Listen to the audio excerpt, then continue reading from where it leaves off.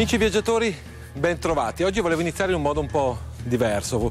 Voglio iniziare dicendovi grazie, grazie per il bellissimo affetto che ci avete dimostrato già da più settimane. Questo è il quinto speciale dei gioielli sotto casa. vi ringraziamo e vi voglio ringraziare veramente per eh, grandi attestati di stima che ci avete dato in queste settimane. Anche oggi puntata dedicata alla primissima parte con eh, le, gli episodi inediti dei gioielli sotto casa e poi invece andremo alla scoperta di una serie di itinerari pescati dal nostro archivio. Iniziamo con un borgo, un borgo che si trova in provincia di Mantova, nel comune di Mozambano e ha una curiosità molto particolare. Oltre ad esserci una rocca, un castello molto bello, c'è un piccolo laghetto fatto a forma di cuore. Sto parlando di Castellaro Lagusella.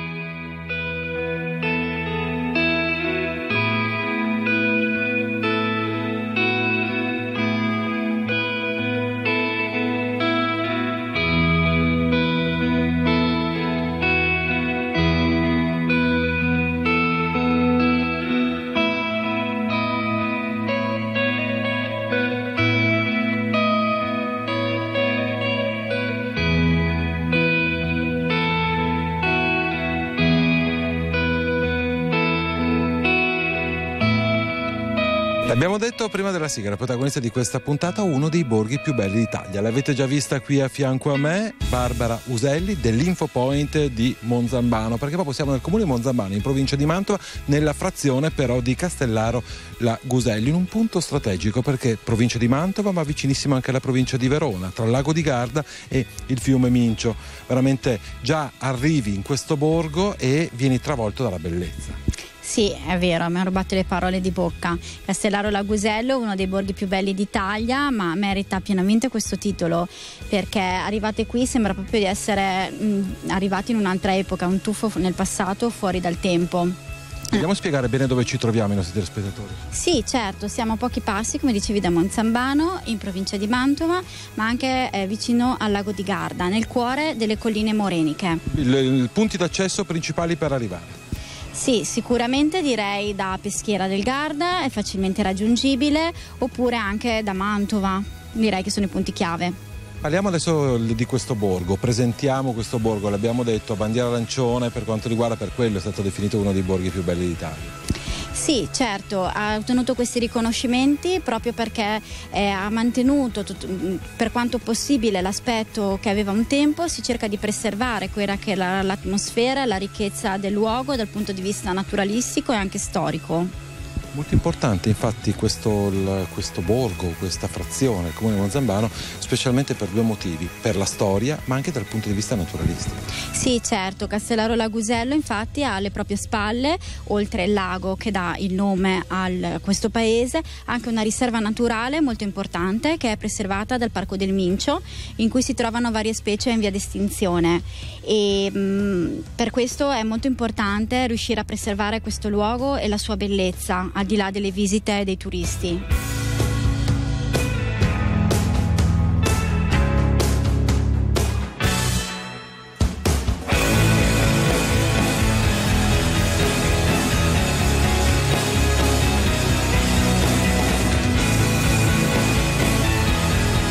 Siamo proprio nel luogo d'accesso, l'ingresso di questo, di questo borgo.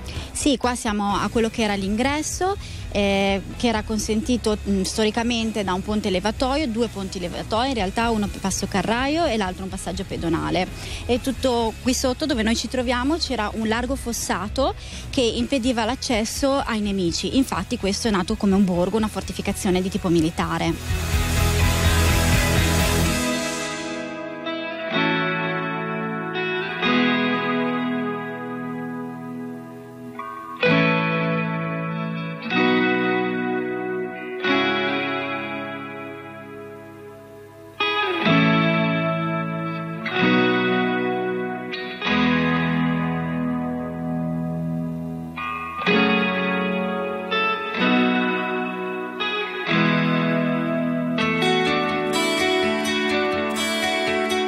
Allora entriamo alla scoperta di questo borgo, già l'ingresso nelle mura è molto suggestivo, di essere, dire la verità, essere molto sinceri. Entriamo proprio in quella che è la prima piazzetta uh-huh. che ospita la, quella che è un, uno degli elementi fondamentali che caratterizza anche da un punto di vista storico proprio tutto l'intero borgo, la torre che è alle nostre spalle. Sì, la torre campanaria. Inizialmente essa faceva parte infatti dell'impianto difensivo del borgo che è stato realizzato tra 1100 e 1200 dagli scaligeri di Verona e quindi sicuramente era più bassa di come la vediamo adesso perché a quel tempo le torri erano alte più o meno come le mura, serviva come torre di avvistamento perché da questo lato c'era l'unico accesso che tuttora è l'unico accesso al borgo. Successivamente tra il 1600 e il 1700 è stata innalzata questo succedeva spesso, mh, mm, praticamente sempre, quando si sceglieva la torre che sarebbe diventata la torre campanaria e dell'orologio e attualmente ha un'altezza di 24 metri e 5 campane in bronzo che suonano tuttora le ore e vengono anche fatte suonare a festa, il sabato sera e la domenica mattina suonano ancora con il movimento tradizionale molto particolare molto suggestivo. E la cosa che mi, la curiosità, ricordiamo, siamo nel comune di Monzabano, però non, eh, Castellaro non è sempre stato parte del comune, cioè, tra l'altro c'è sempre stato anche un po' di rivalità fra la frazione e il comune, o sbaglio? Sì, certo, perché fino almeno all'Ottocento sappiamo che Castellaro era indipendente. E successivamente, quando sono entrati a far parte sia Monzambano che Castellaro nella provincia di Mantova, sono stati annessi, o meglio, Castellaro è stato annesso alla municipalità di Monzambano. Ma sicuramente i castellaresi hanno un loro spirito eh, locale e quindi diciamo che questa, questa cosa ancora un pochino si respira. Andiamo adesso all'interno della torre perché naturalmente la torre oggi viene utilizzata anche per delle esposizioni, per le mostre, ma anche perché c'è una vista su tutto quello che è il borgo che è veramente particolare e molto suggestiva. Andiamo.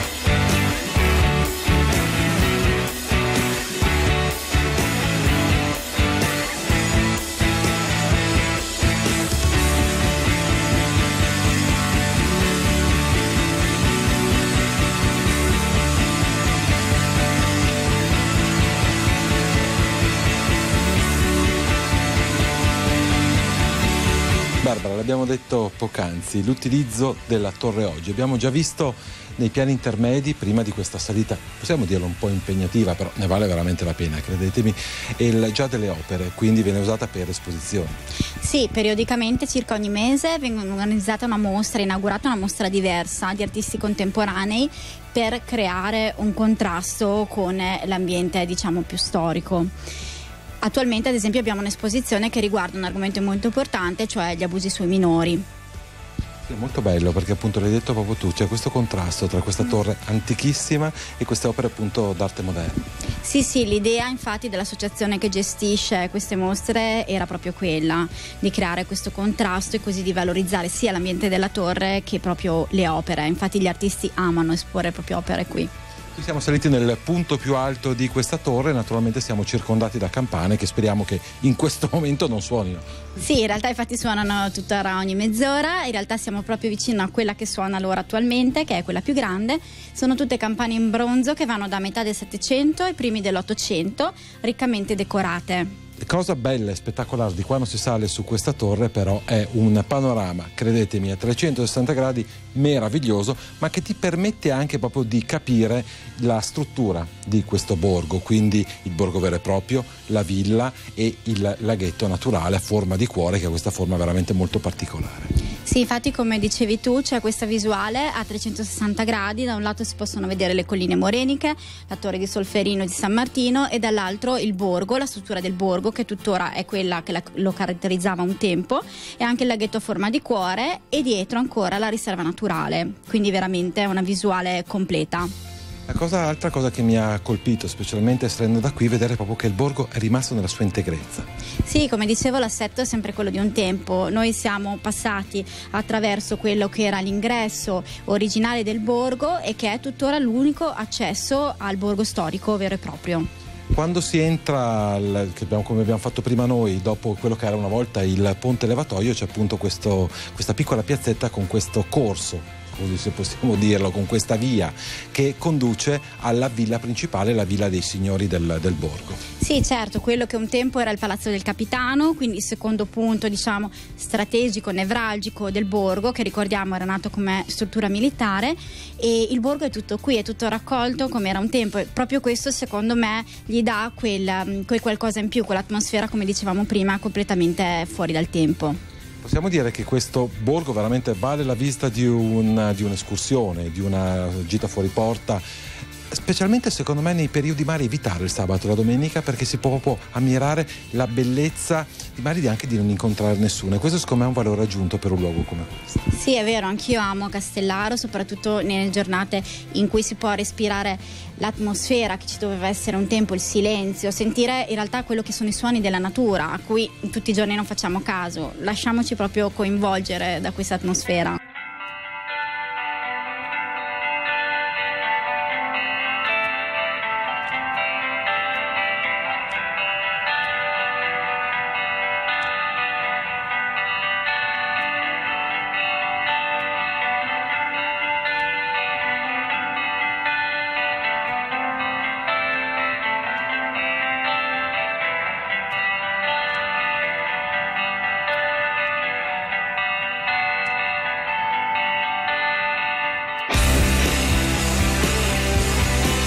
Sempre Castellaro Lagusello, in provincia di Mantova, comune di Monzambano, protagonista di questa puntata dei gioielli sotto casa. Seconda parte, con grande piacere, sempre con Barbara Uselli dell'Infopoint del comune.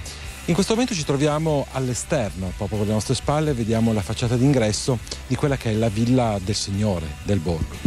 Sì, questo un tempo era il Palazzo del Capitano, quindi eh, tradizionalmente è sempre stata un po' la villa del Signore. Eh, nel 1636 però la Repubblica di Venezia vende all'asta questa parte del borgo che viene acquistata dai conti Arrighi di Salò, quindi da allora è proprietà privata. In realtà dal Novecento i proprietari poi sono i marchesi Tacoli di Modena perché poi le due famiglie nobili si erano imparentate. Noi ci troviamo da- davanti a quelli che erano i locali di servizio della villa vera e propria che si trova poi all'interno dove c'è il giardino questo punto direi di andare a scoprire assieme questo meraviglioso giardino e il camminamento dove mi hai promesso delle viste veramente mozzafiate, un po' come simili a quelle della torre che abbiamo appena visto. Andiamo assieme.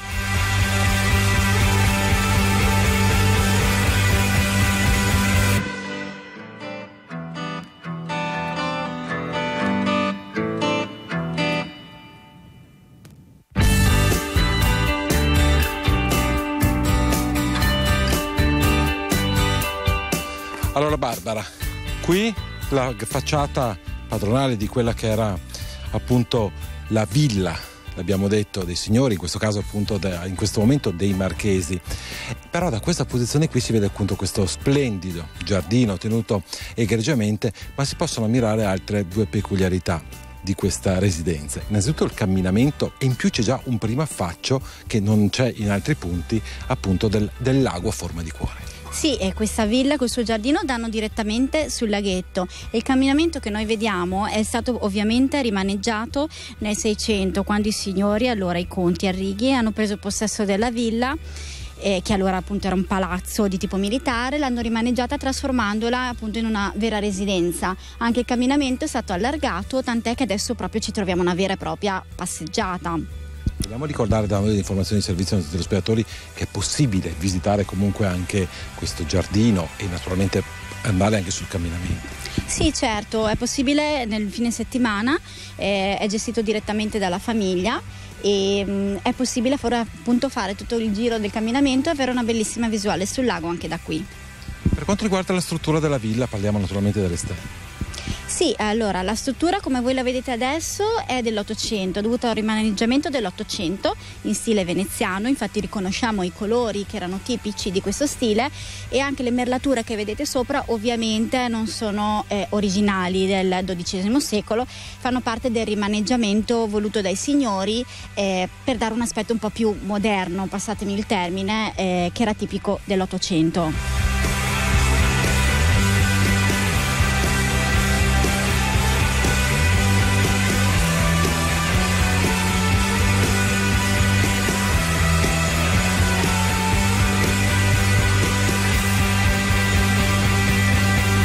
Che da questa posizione puoi veramente ammirare da un po' una sorpresa dopo essere stati nel parco questo laghetto molto particolare, un laghetto dedicato agli innamorati per la forma a cuore, così se possiamo dire.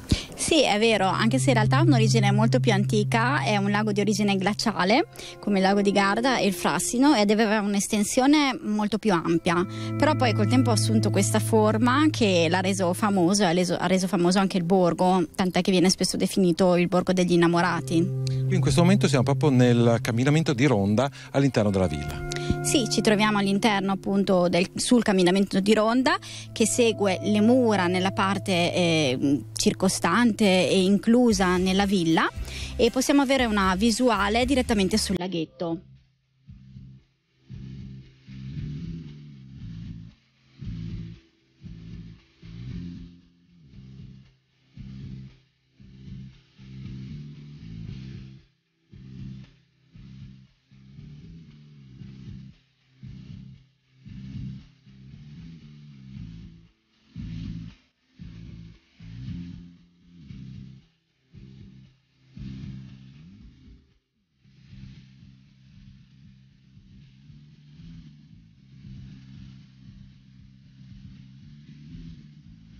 Cosa bella Barbara che in pochissimi metri si cambia angolazione, cambia lo scenario, qui vediamo, prima eravamo sopra le mura, adesso siamo praticamente ai piedi delle mura e alle nostre spalle il grande protagonista in questo punto è il lago degli innamorati.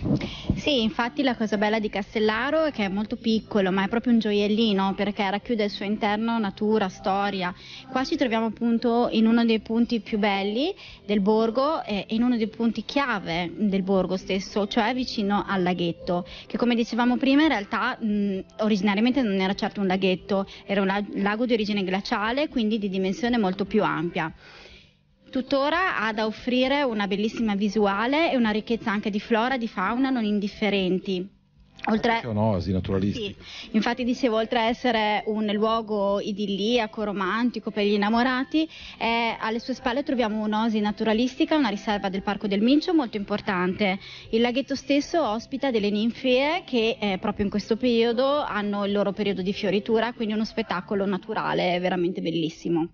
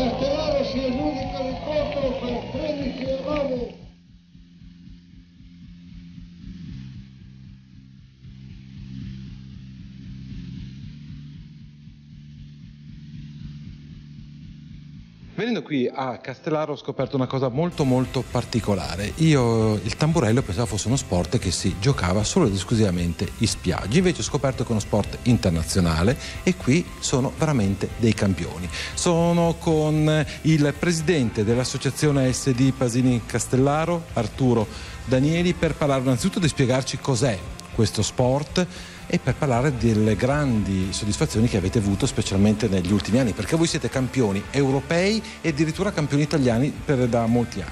Esatto, esatto, è così. Allora, questo sport eh, diciamo che è uno sport antichissimo perché abbiamo documenti che risalgono addirittura al 1856 sotto il dominio austriaco, abbiamo dei dati proprio che parlano di quel periodo per poi passare, diciamo, in un tempo si giocava a pallamano e tante robe. Poi il tamburello, che praticamente per chi non sa è un, è un tennis lungo, si gioca sugli 80 metri per 20, no? con palline velocissime, si arriva addirittura a 250 all'ora, 5 giocatori in campo, due davanti, un centrale che potrebbe essere chiamato centravanti e due fondocampisti che i fondocampisti hanno il compito di produrre il gioco per poi far concludere al davanti, ai, tre attaccanti, diciamo, ecco.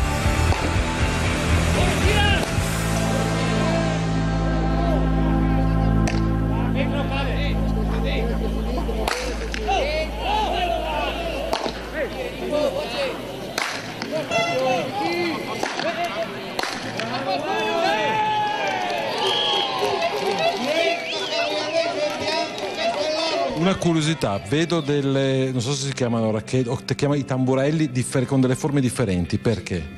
Perché allora la tamburella, quella lì che ha in mano lei, è per dare più forza nella battuta, serve per la battuta perché oltre al braccio c'è questo altro 20 cm che può forzare la, la, la pallina, insomma, ecco, e, e dopo della battuta si torna subito, immediatamente col tamburello che è questo che ho in mano io. Parliamo invece dei grandi trofei che vediamo qui alla nostra sinistra perché l'abbiamo detto, campioni europei ma anche campioni italiani. Certo, certo. Allora qui abbiamo eh, la Coppa della Coppa Italia Indoor e il campionato Indoor, sempre quest'anno. Poi al centro abbiamo l'ultimissimo, vinto dieci giorni fa, che è la Coppa Italia Open. Open.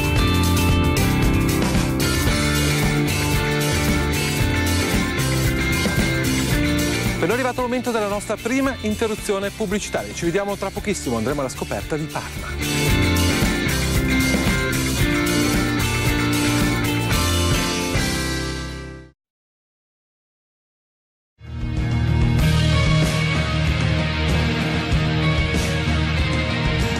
Bentrovati, questa è sempre Gioielli sotto casa, puntata speciale da questo teatro meraviglioso che ci sta ospitando il Teatro Ponchielli di Cremona. Vogliamo proporvi una serie di itinerari, una serie di viaggi. Adesso andiamo a pescare dal nostro archivio meraviglioso e andiamo nel cuore di Parma.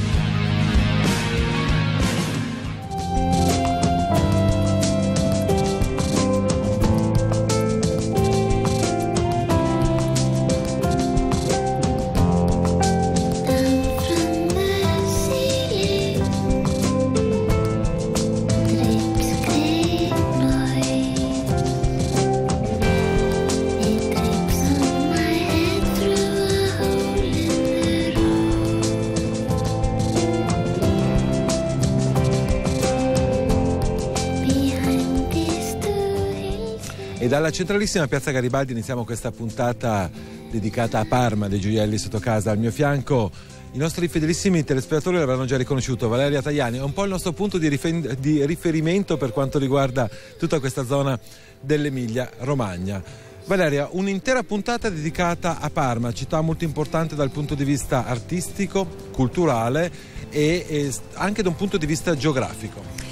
Sì, Parma vicino alle città principali, siamo un'ora circa uh, da Milano, così come Bologna, è questa piccola capitale, quindi un gioiello diventato comunque importante anche durante il 1700 e diventa la capitale di questo ducato, il ducato di Parma e di Piacenza. E quindi dal 1500 viene impreziosita uh, da uh, grandi cambiamenti, un esempio è in effetti Piazza Garibaldi, ma anche da nuovi edifici, quali ad esempio Palazzo della Pilotta eh, o il Teatro Farnese, giusto per avere alcune idee.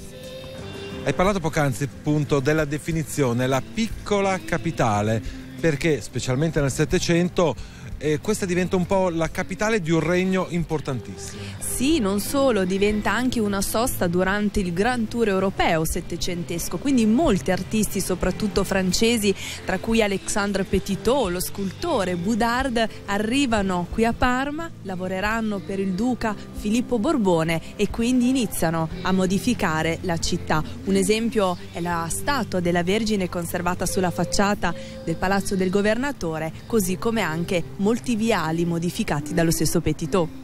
Ma veniamo a questa piazza, questa è Piazza Garibaldi, come abbiamo detto, un po' il centro, il cuore di quella che era la vita amministrativa di Parma. Sì, centro politico, civile della città, possiamo dire anche proprio l'origine stessa della, di Parma, colonia romana, da qui lentamente, soprattutto nel periodo medievale, si amplia, viene fortificata da mura ed è proprio nel periodo medievale che sono costruiti eh, i palazzi civili dell'epoca, palazzo comunale, poi modificato durante durante il XVII secolo, ma anche eh, il palazzo del Podestà eh, e il palazzo del governatore. Quindi luogo dove avvenivano anche la vita sociale, quindi i mercati e le fiere medievali. Valeria, vogliamo fare un po' una piccola anteprima ai nostri telespettatori cosa andremo a proporre in questa puntata? Quelli che sono i monumenti, i simboli della città, a partire da Piazza Duomo, che conserva questa magnifica cattedrale, il battistero, esempio di uh, un'architettura medievale, ma non possiamo dimenticare la chiesa di San Giovanni Evangelista e quindi tutto quello che è il cuore della città.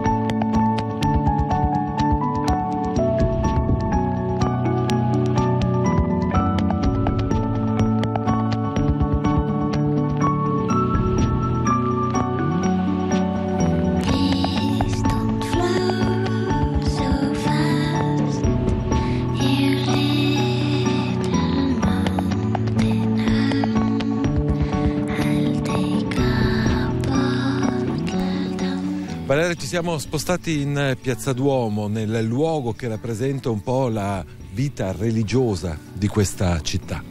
Sì, la seconda piazza eh, di Parma, eh, infatti qui troviamo quelli che sono i luoghi religiosi più importanti, dal Palazzo Vescovile, la cattedrale e ovviamente il Battistero e quindi ecco perché è sempre stato il luogo religioso eh, della città. Valeria, parliamo, soffermiamoci su quelli che sono i due edifici più importanti di questa piazza, il Duomo e il Battistero. Sì, il Duomo intanto abbiamo risale alla seconda metà dell'undicesimo secolo e mostra già due stili differenti proprio perché sono avvenute alcune modifiche nel corso del tempo, quindi non solo uno stile ehm, romanico, la facciata soprattutto la parte inferiore, ma anche uno stile già gotico per quanto riguarda invece la parte più elegante eh, della facciata. Una facciata modificata per quanto riguarda anche il portale dove venne realizzato questo protiro eh, esterno sorretto da questi due leoni stilofori che sorreggono le due colonne, con accanto poi il campanile eh, terminato nel 1336. Accanto appunto il battistero, anche in questo caso due stili diversi, già il passaggio dal romanico al gotico per questo gioco di vuoti e di pieni, un battistero a forma ottagonale eh, che poi diventa con 16 nicchie all'interno e con tre portali eh, utilizzati eh, sia dal vescovo, quello che quindi affaccia sulla piazza Duomo, poi dai fedeli il portare del Redentore.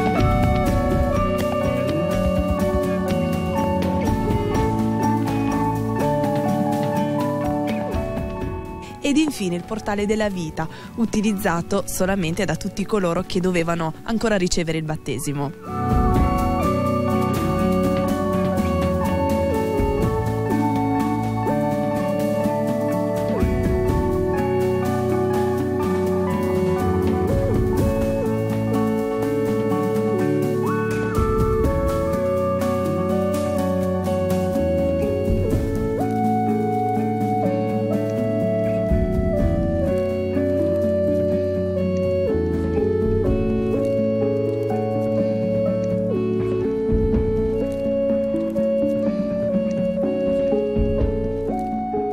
Valeria, la prima cosa che colpisce quando si entra all'interno di questo Duomo, innanzitutto la contrapposizione fra quella che è una facciata molto semplice, abbiamo detto stile romanico, quindi la semplicità per eccellenza, e invece la maestosità di quando si entra all'interno. Sì, anche perché questa magnifica decorazione degli interni in realtà risale al XVI secolo, parliamo sempre di artisti locali come Lattanzio Gambara, Bernardino Gatti e quindi ecco perché abbiamo una grande ricchezza e si rimane sicuramente colpiti, in particolare dalla navata centrale, quindi con immagini ai lati sia di, eh, di quello che era l'Antico Testamento e immagini tratte dal Nuovo Testamento, quindi una sorta di libro aperto che permetteva a tutti i fedeli di poter studiare in realtà eh, il Nuovo Testamento ammirando queste immagini. Una cattedrale sicuramente preziosa anche perché conserva altri due capolavori, quello, la cupola, l'ultima cupola affrescata dal Correggio e la deposizione della croce di Benedetto Antelami.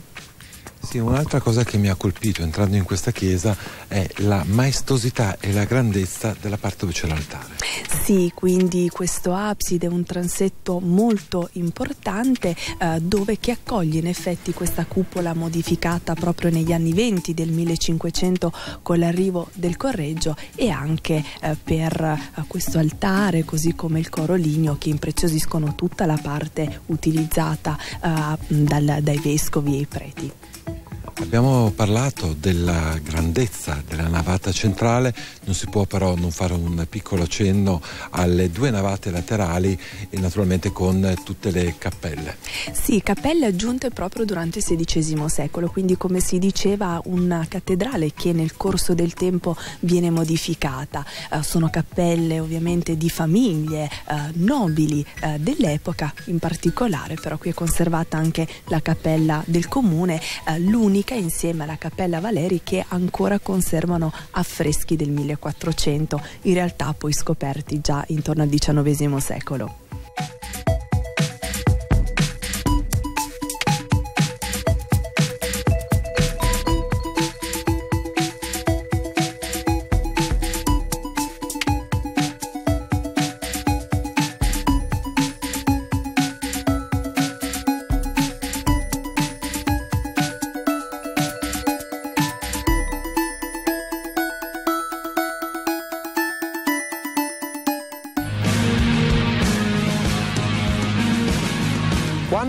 A Parma c'è una cosa che assolutamente non può non andare a vedere. Sto parlando della pilotta.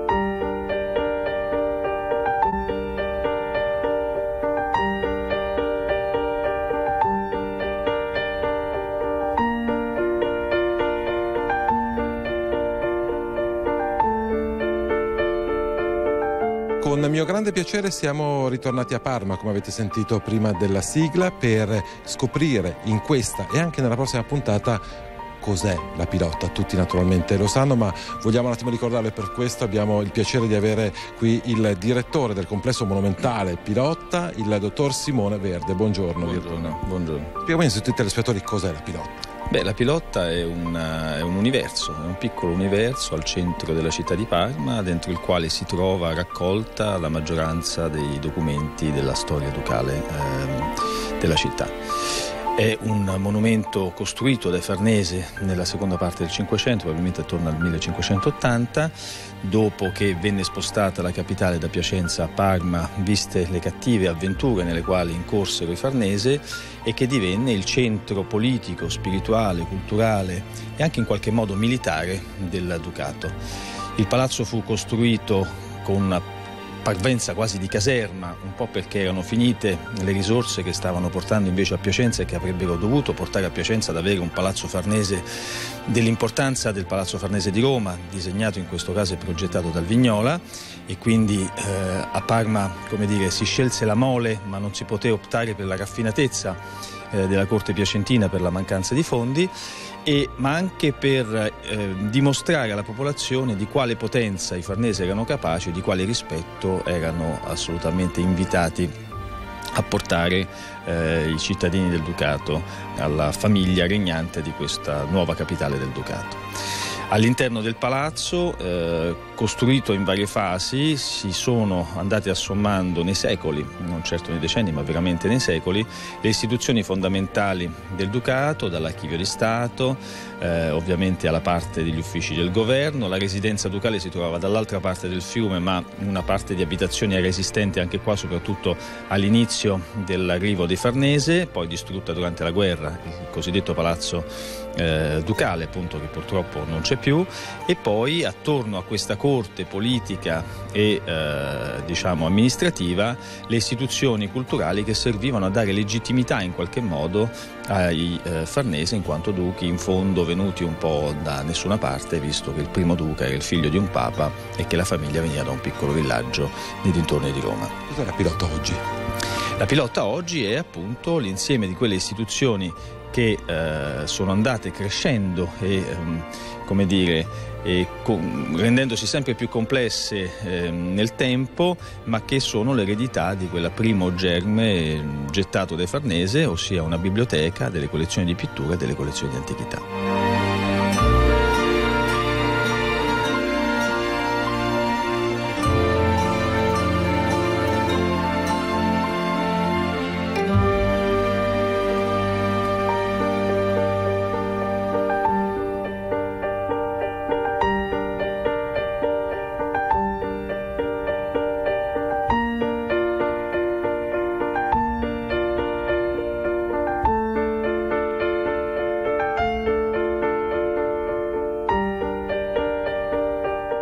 Parliamo delle grandi collezioni che ospita questo tempio.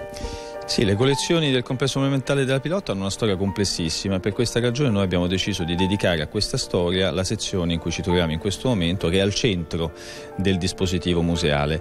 È una sezione che è stata predisposta dall'architetto Guido Canali, che è uno dei maggiori architetti contemporanei italiani, in cui noi raccontiamo come gli oggetti, i documenti, le opere d'arte che si trovano nel palazzo sono arrivate nel palazzo e come la storia di questi documenti, opere d'arte e oggetti si è andata eh, intrecciando con la storia dell'edificio. Una delle caratteristiche fondamentali dei musei italiani è questa corrispondenza perfetta tra contenuto e contenitore in cui la storia del palazzo, la storia degli edifici monumentali corrisponde e arricchisce la storia delle collezioni che si trovano al suo interno.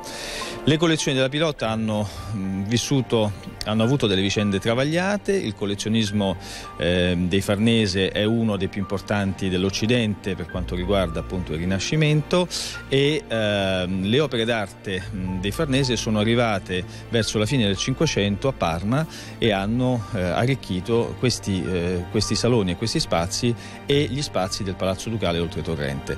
Sono stati però portati via quasi tutti nel 1734 da Carlo di Borbone che succedendo, essendo il primo eh, della dinastia dei Borbone eh, come duca di Parma ma poi divenuto re di Napoli, decise di portare questi tesori con sé nel sud Italia.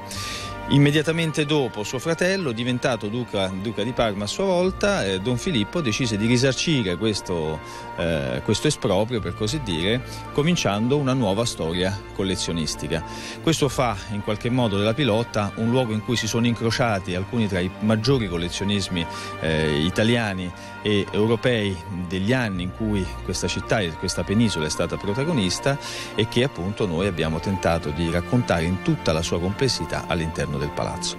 Per quanto riguarda le opere che si trovano dietro di me, per esempio questa meravigliosa testa di Zeus viene dagli scavi sul Palatino, quindi viene da una eh, delle dimore imperiali ed è stata portata qui eh, dai eh, Farnese per l'appunto perché gli orti palatini appartenevano ai Farnesi intorno al 1720 ed è uno dei pochi pezzi che sono rimasti a Parma che noi possiamo esibire come prova del passaggio di quelle collezioni così illustri.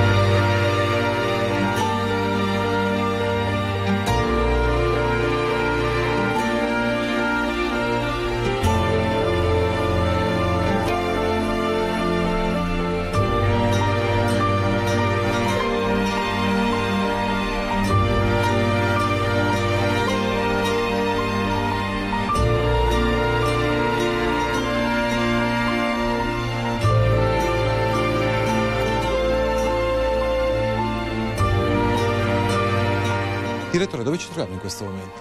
In questo momento ci troviamo in una nuova sezione che noi abbiamo dedicato interamente nel 2018 mm, alla storia del Teatro Farnese nei festeggiamenti per il quattrocentenario della costruzione di questo meraviglioso e incredibile manufatto. Eh, il Teatro Farnese, costruito quindi nel 1618, è il primo teatro moderno della storia europea occidentale.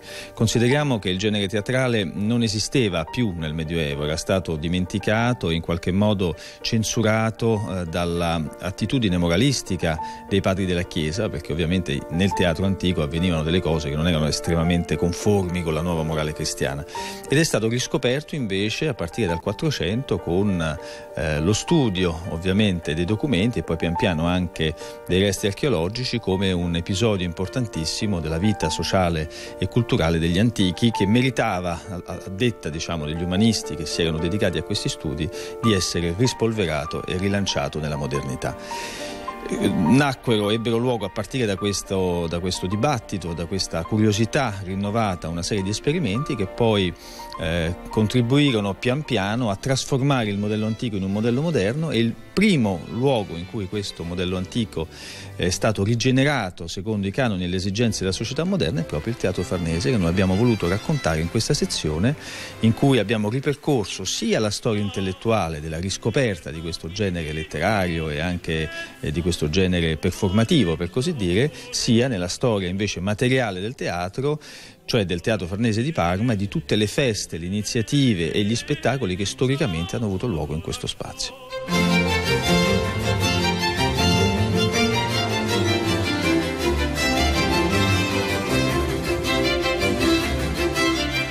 noi è arrivato il momento di una brevissima interruzione pubblicitaria. Ci vediamo tra pochissimo, sempre alla scoperta di Parma e provincia.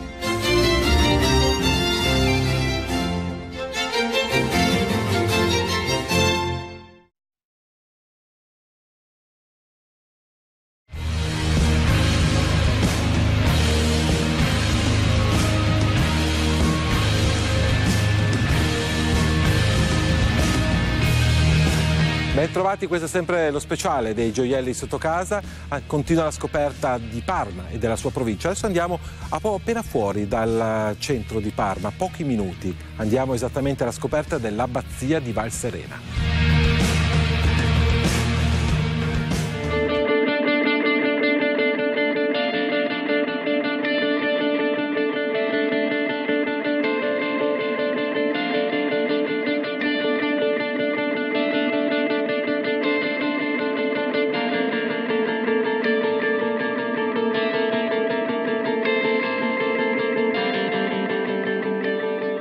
Francesca Zanella è il presidente del Centro Studi Archivio della Comunicazione dell'Università di Parma e i nostri telespettatori più affezionati l'hanno già conosciuta la settimana scorsa. Ci sta facendo conoscere questa meraviglia che ha due passi da, il, dal centro di Parma e vogliamo spiegare bene ai nostri spettatori dove ci troviamo innanzitutto cos'è il contenitore, questo edificio che abbiamo alle nostre spalle.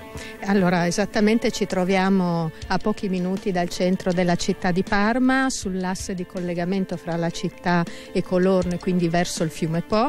Questa era un'abbazia cistercense che è stata fondata alla fine, la cui costruzione è iniziata alla fine del, del 1200 Cinquecento con una serie di ampliamenti più significativi nel Cinquecento e nel Settecento legati a particolari contesti storici, culturali ed economici. Questa abbazia ha vissuto sino al 1800 quando eh, è stata soggetta come tanti monumenti e tante eh, istituzioni eh, italiane è stata soggetta alla spoliazione napoleonica e quindi ha perso la sua originaria destinazione e quindi è restata nel tempo inutilizzata, non è più stato luogo di, di preghiera e di lavoro dei monaci.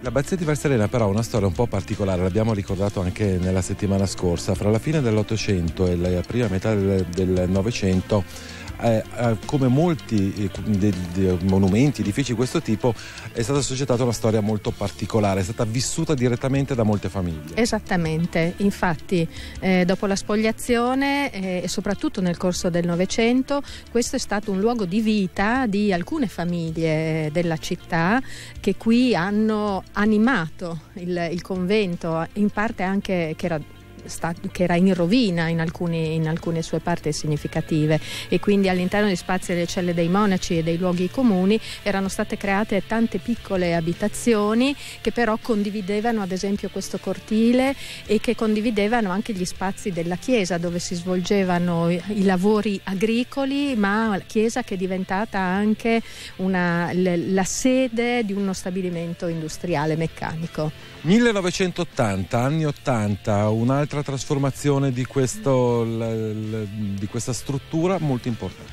Sì, questa struttura eh, negli anni Ottanta è stata individuata come un monumento importantissimo da eh, restaurare e quindi grazie ai fondi FIO del Ministero e grazie all'impegno della soprintendenza è iniziato un importantissimo intervento di restauro che ha recuperato la chiesa, ma non solo la chiesa, anche tutto il complesso monastico eh, nel, nel, nella sua conformazione residua diciamo, rispetto a, a quella che era la sua dimensione dimensione originaria è stata trasformata in uso eh, perché è stata destinata all'Università degli Studi di Parma in prospettiva visto come la sede del Centro Studi Archivio della Comunicazione eh, dell'Università che nel frattempo era cresciuto enormemente rispetto agli anni 60, eh, raccoglieva migliaia e migliaia, possiamo dire milioni di pezzi eh, di, di opere d'arte, di disegni, di macchete e di prototipi e di fotografie. Maggio 2015, un'altra tappa importante per le varie metamorfosi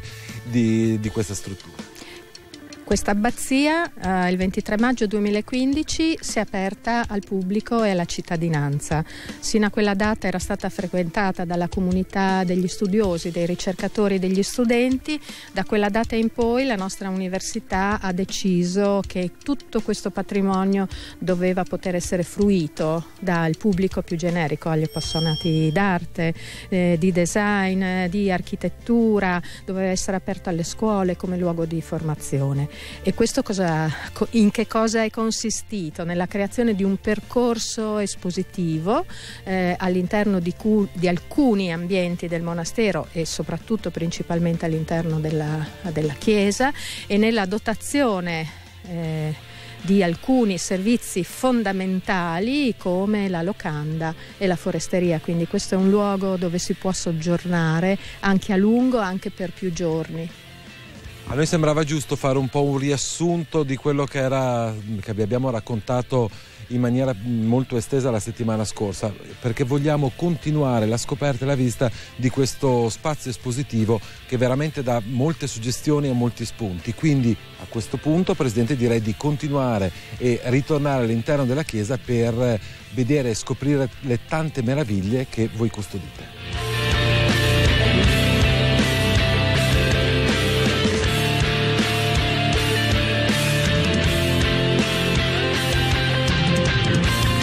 Presidente, in una mostra che vuole raccontare il Novecento non si poteva non dedicare una sezione dedicata ai grandi cartelloni pubblicitari.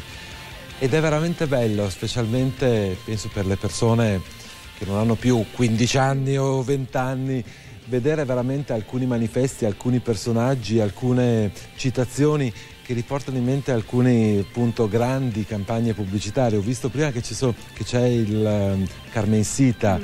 del, del, mitico studio, studio, Testa e, il, e molte altre pubblicità veramente mh, mm, anche questa è una forma d'arte che vuole raccontare un lungo periodo di storia italiana. Esattamente, Già la settimana scorsa abbiamo avuto l'occasione di incontrare la pubblicità dell'Olivetti disegnata da Marcello Nizzoli. Quello è un piccolo segmento che si aggiunge a questa sezione che abbiamo appositamente costruito per raccontare la storia della grafica pubblicitaria italiana e l'abbiamo fatto partendo dagli anni 20 attraverso i manifesti e i fondali di vetrina come questo eh, progettati da Sepo, continuando poi attraverso la pubblicità di Carboni degli anni 50 per la pasta Barilla per arrivare appunto a un maestro indiscusso della pubblicità italiana quale Armando Testa eh, che eh, ha costruito delle immagini eh, di grandissima sintesi e di grandissimo impatto visivo E questo è importante per noi eh, non solo per far conoscere alle generazioni più giovani un linguaggio che ormai si è perso perché non è più tale, ma è importante anche per generazioni precedenti che entrando in questi spazi rivivono i mitici caroselli con il Cavallero e Carmensita e quindi noi attraverso questa sezione riusciamo anche a sollecitare eh, degli interessi, delle reazioni anche molto differenti ed è estremamente interessante. Sì, è bello anche vedere proprio la differenza fra quello che era il, il tipo di comunicazione appunto con i fondali mm. degli anni 20, già la differenza negli anni 50 pensando oggi al tipo di comunicazione che c'è in questo momento. esattamente, eh, questo è assolutamente importante anche pensando a quella che è la funzione di questo luogo, di questo centro.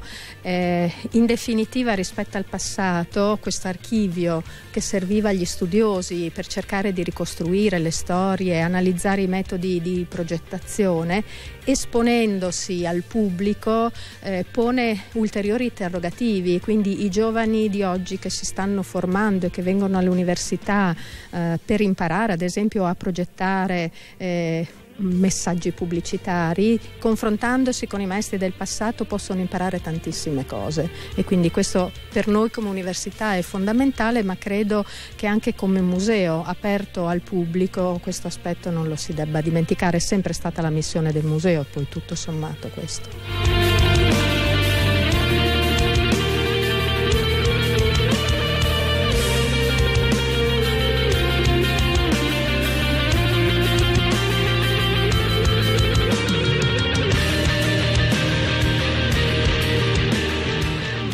I grandi maestri dell'architettura italiana, un'intera sezione dove si possono ammirare dei disegni, dei progetti, ma anche dei plastici dove si possono ritrovare quelli che sono ormai diventati veri e propri monumenti a livello nazionale ma anche internazionale.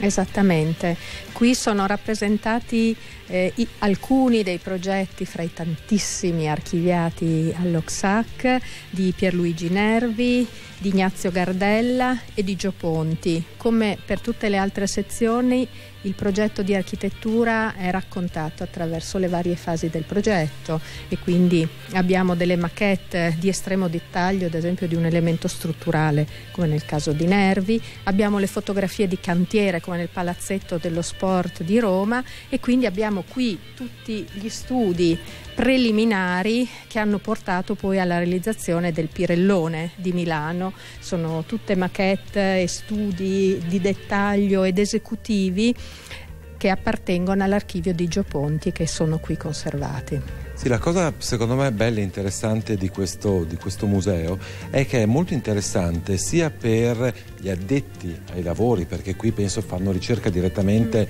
del, degli studenti, ma sono molto molto interessanti per questo gioco di eh, progettazione, di modelli, di prodotti realizzati anche invece per il grande pubblico.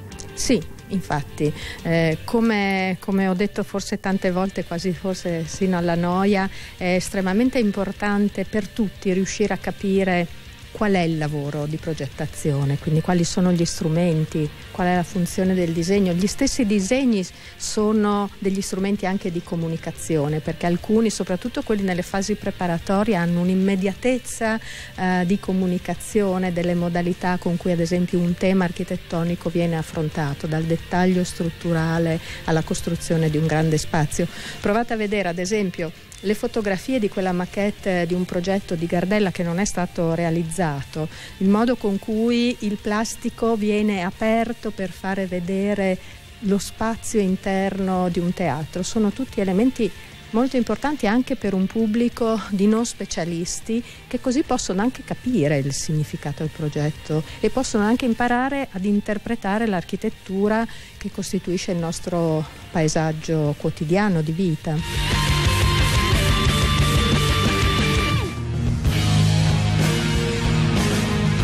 Ora vi porto in un luogo famoso in tutto il mondo per le sue cure termali, ma anche un centro storico veramente molto bello, Salso Maggiore Terme.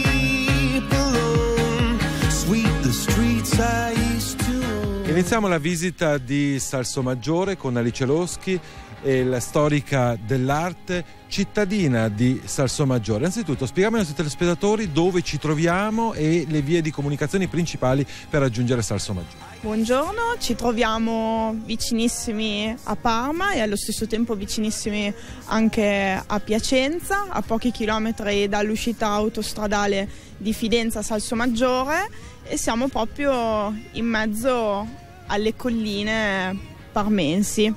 Ma perché un nostro telespettatore deve scegliere Salsomaggiore per un periodo di soggiorno o per un'escursione fuori porta? Salsomaggiore è una città bellissima, importantissime sono le terme, quindi un vostro telespettatore può venire a Salsomaggiore in giornata oppure fare una settimana, fare le cure alle terme, fare passeggiati appunto sulle nostre colline o mangiare semplicemente un gelato in una delle tantissime gelaterie di Salso e fare anche una camminata a guardare le vetrine dei negozi. Tu poc'anzi hai detto una cosa importantissima, Salso Maggiore e le cure termali, una tradizione con una lunga lunga storia.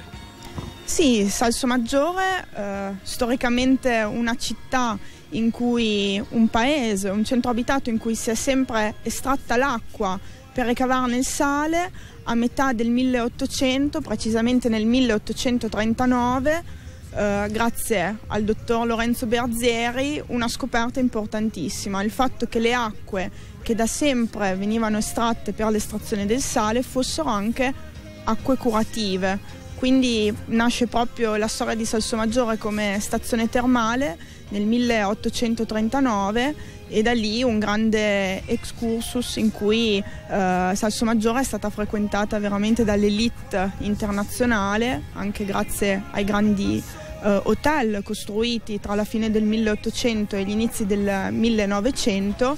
Eh, una città pronta ad accogliere turismo termale e eh, quindi a dare benessere, a dare relax a tutte quelle persone che da Milano, dalle grandi capitali anche europee, venivano a fare la stagione di cure a Salsomaggiore, quindi non solo pochi giorni come potrebbe essere un turismo che abbiamo noi ora, il weekend al centro benessere, ma vere e proprie settimane, se non addirittura mesi qui a Salsomaggiore per trarre beneficio da queste acque termali.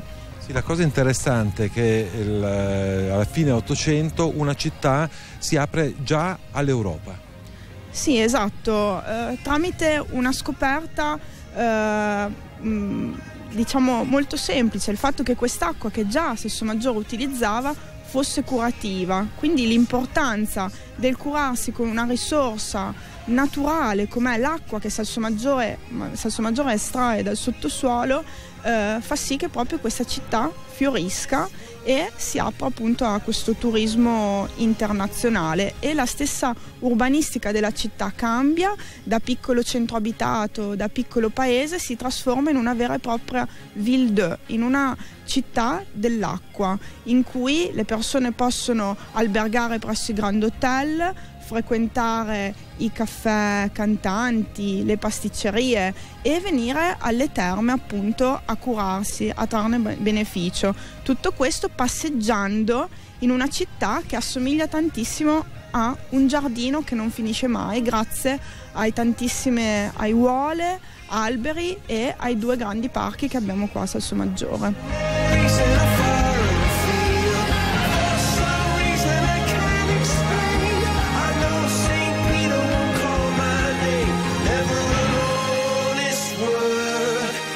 Was when I ruled the world.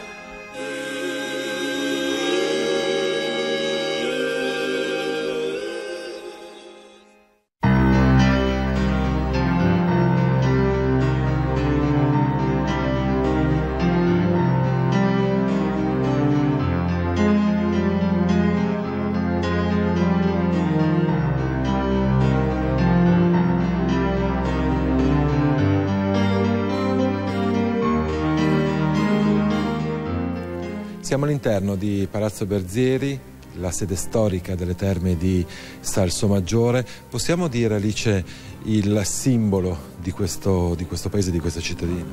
Assolutamente sì, eh, il Palazzo delle Terme Berzieri dal 1923, dal 21 maggio 1923, data della sua inaugurazione, è eh, il gioiello di Salsomaggiore, riconosciuto da tutti. Eh, le Terme Berzieri sono il simbolo della nostra stazione termale, un palazzo storico, come potete vedere, eh, dai diversi stili. Uh, un insieme di richiami al mondo dell'Oriente ed anche al mondo dell'Occidente, uh, ancora qualche richiamo dello stile Liberty, ma uh, importante, imponente è l'Art Deco. L'Art Deco in equilibrio con uno stile preso direttamente dall'Oriente.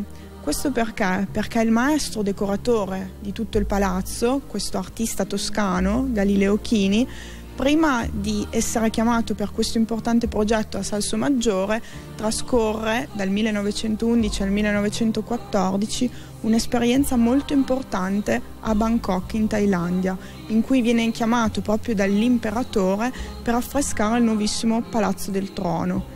Chiamato poi dopo questa esperienza subito a Salso Maggiore, tutto ciò che aveva visto e eh, appunto vissuto in Thailandia può rimetterlo in questo istituto termale, questo vero e proprio tempio del benessere che eh, è decorato appunto grazie a tantissimi inserti in ceramica. Galileo Chini, titolare delle fornaci di Borgo San Lorenzo nel Mugello, può avvalersi della collaborazione delle proprie fornaci e così realizza una teoria di ceramiche, grass, grass porcellanati che vanno a decorare questo istituto termale. Alice, effettivamente già entrando semplicemente all'interno di questo palazzo si può mirare la maestosità, la grandezza, le decorazioni, alcune pareti specchiate che sono veramente spettacolari, ma da questa posizione, da questo terrazzo, si può mirare anche il trittico che è alle nostre spalle che veramente lascia a bocca aperta. Sì, il trittico alle nostre spalle è uh, un pezzo affrescato non questa volta da Galileo Chini, quindi non dal maestro decoratore di tutto l'istituto termale, ma uh, viene chiamato per realizzare un cameo uh, un artista cremonese, Giuseppe Moroni e questo artista realizza una scena assolutamente in tono con il contesto eh, che vediamo, quindi una scena acquatica, eh, siamo all'interno di una fontana e la protagonista assoluta è questa dea che si riveste dopo aver fatto il bagno. La dea è Igea, Igea è la personificazione della salute, quindi un'enorme celebrazione di quello che l'acqua termale può apportare appunto a chi eh, viene qui a Sasso Maggiore per fare le cure, quindi salute, la salute.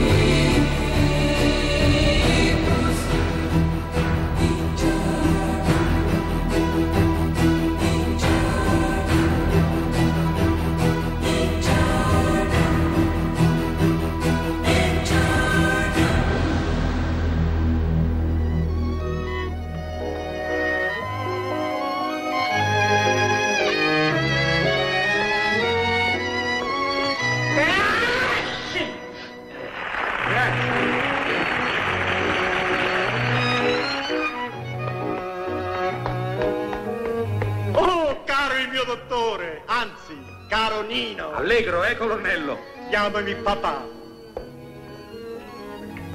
Ma sì. capisco l'allegria, ma mi pare esagerato. Eh? T'ha detto niente la mamma? Quale mamma? Tua suocera. Ho detto è mia figlia. La figlia del colonnello. Dobbiamo festeggiare. Ov'è? Ov'è la mia piccina? Sono vent'anni, vent'anni che la cerco. Quando si dice che la vita è romanzo,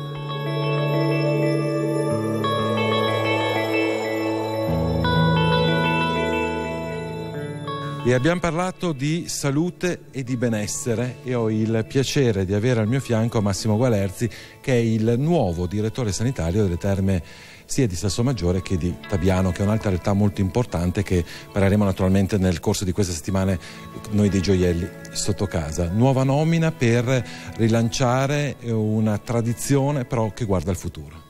Sì, rilanciare una tradizione diciamo che è ben consolidata in realtà in quanto sia a Stabiano che a Salso le cure termali sono diciamo storiche.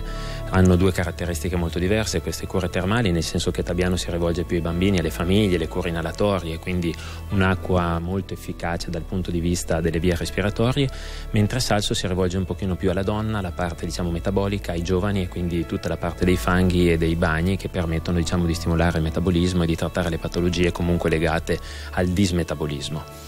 Due tipi di trattamenti differenti, quindi ancora una volta la sinergia, possiamo dire, fra due località, anche se molto vicini, fanno la forza. Sì, assolutamente, diciamo che sono posti complementari tra l'altro noi stiamo allestendo, appunto, vista la mia nuova nomina, un pacchetto diciamo, che preveda tutte e due le, le, realtà e che abbracci quello che io chiamo il termalismo 2.0, cioè il nuovo termalismo che non è più solamente un posto dove venire a fare le cure termali fini a se stesse, ma dove prendersi cura a 360 gradi della propria figura e della propria persona. Qui abbiamo persone che hanno già deciso venendo qui di prendersi cura della propria salute e quindi noi dobbiamo essere in grado di offrire una salute olistica, quindi l'alimentazione corretta, l'attività fisica, l'acqua e quindi le sue proprietà antinfiammatorie, ma eh, che poi tutto si declina in un concetto che è quello del benessere, oppure come dicono meglio gli anglosassoni della wellness, che è una via di mezzo tra diciamo, il vero benessere e la salute. Quindi siamo proprio nella, nella, nella zona di mezzo della prevenzione e della cura.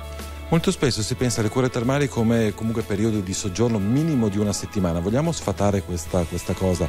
Oggi appunto parlando di Terme 2.0 si può anche semplicemente fare un weekend, un fine settimana. Sì, vedete questo posto bellissimo, tra l'altro qui offriamo anche posti, pacchetti brevi di un weekend oppure da spezzettare nel corso della stagione per dare una continuità alla cura. Sicuramente il termalismo antico era quello 10-15 giorni consecutivi, oggi chi se lo può permettere lo può ancora fare, ma altrimenti ad esempio i giovani possono fare spezzettare le cure venire banalmente un weekend e trarre comunque giovamento da queste splendide acque che hanno un potere, ricordo, antinfiammatorio e l'infiammazione è la base di tutte le patologie moderne e croniche.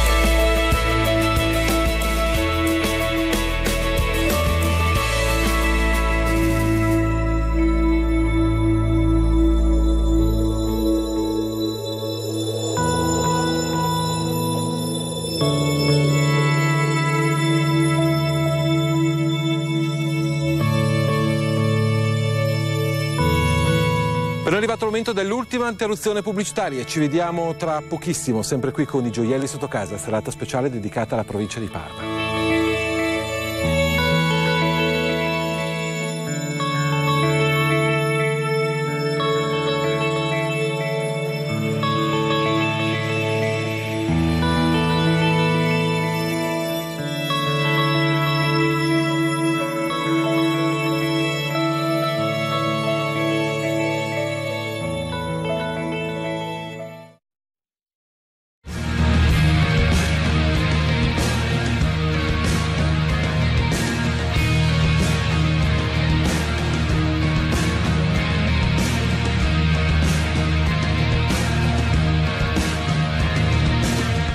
Parte dei gioielli sotto casa, serata speciale dedicata a Parma e alla sua provincia. Adesso andiamo a Soragna, alla scoperta della Rocca Medilupi.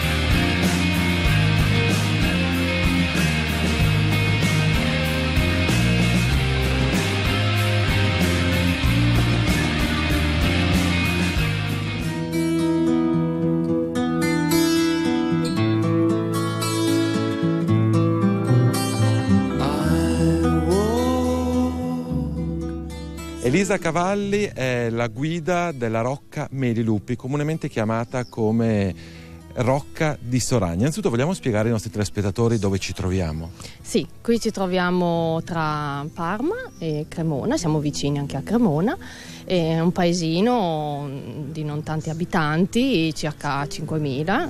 E mm, la Rocca sorge nel 1385 nel borgo qui di Soragna eh, nasce come una roccaforte di difesa militare, poi a fine 600 la trasformano in dimora residenziale. Quindi viene tolta tutta la struttura difensiva, quindi l'acqua nel fossato, il ponte levatoio, eh, verrà fatto anche uno scalone d'onore e un appartamento nobile molto bello, ricco di barocco e di oro zecchino. La cosa molto bella che sto scoprendo proprio nella vista che il, in queste dimore è che molte dimore del, di, quel, di, quegli anni nascono proprio come il, solamente come scopo difensivo e poi invece hanno questa trasformazione in dimora vera e propria. Sì, è vero, perché inizialmente erano tutte rocche appunto per difendere il loro territorio ovviamente. E poi dopo terminate le lotte feudali, insomma ecco che c'è questa eh, trasformazione dalla, dalla roccaforte a palazzo residenziale. È molto bello quando si arriva a Soragna di, perché questa rocca si trova proprio nel centro del, di, questa, di, questa, città, di questo borgo e l'impatto è veramente molto, molto bello. Sì, bella, sì. Poi con questi leoni all'ingresso, il, il cortile eh, con statue settecentesche, molto bella, sì. Parliamo un attimo della struttura. La struttura è a forma quadrata, con quattro torri ai lati, il massio centrale come vedete qui, eh, dove siamo noi, e eh, con la, il fossato pieno d'acqua all'epoca, che oggi non c'è più, dietro tra l'altro c'è tutto un parco, in origine era un giardino all'italiana che poi lo trasformano a parco all'inglese, quindi stile romantico. È da tutti conosciuta come il Rocca di Soragna, però il vero nome è Rocca Melilupi. Sì, perché qui ci vive ancora il proprietario, che è il principe Melilupi di Soragna. Inizialmente erano eh, lupi, eh, inizia, a metà 500 poi Diofebo Lupi si estingue, non avendo avuto figli, lascia l'eredità a un pronipote, tra l'altro di Cremona, Giampaolo Meli, i quali uniranno il doppio cognome e diventeranno appunto Meli Lupi. Poi nel 1709 diventeranno principi del Sacro Romano Impero, principi quindi di Soragna.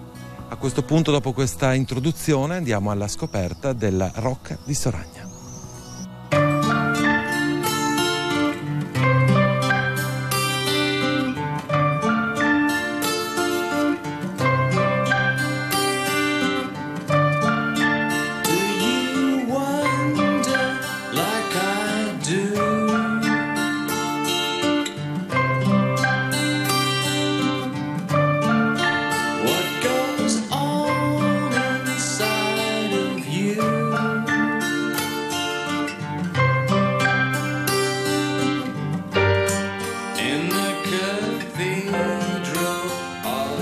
Elisa, ci troviamo nella prima sala, la sala del Baglione. Sì, questa è una sala di Cesare Baglione, un pittore di Bologna della fine del 1500.